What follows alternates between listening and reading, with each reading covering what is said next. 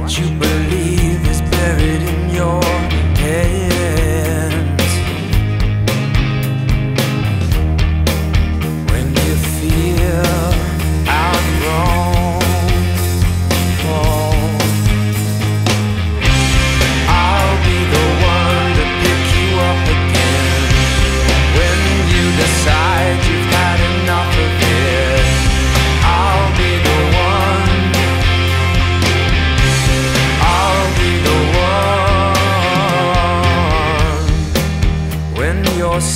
It's is slow.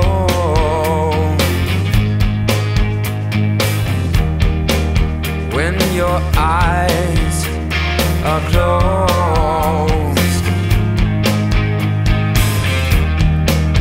when you feel betrayed, when your heart is afraid.